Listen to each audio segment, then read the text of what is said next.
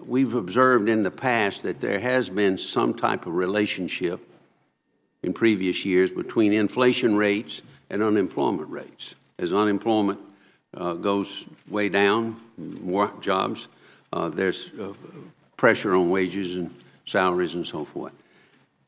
Is there a new paradigm out there as far as uh, evaluating this today, and is it because of the global economy, or what is it? Because uh, we have low unemployment, but we have, at the moment, not a lot of pressure from your testimony and what we observe on uh, inflation.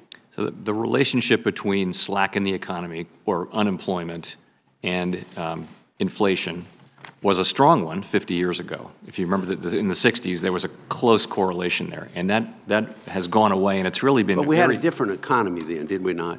Very different economy okay. in so many ways, and and this in this way, that really, I would say that period, at least 20 years ago, that period was over, and the relationship between unemployment and inflation became weak. It's become weaker and weaker and weaker.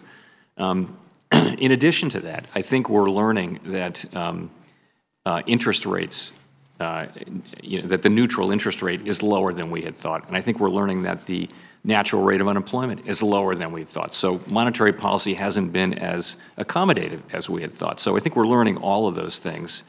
At the end of the day, there has to be a connection because low unemployment will drive wages up, and ultimately, wage higher wages will will drive inflation. But we haven't reached that point. And in any case, that connection between the two is is quite small these days.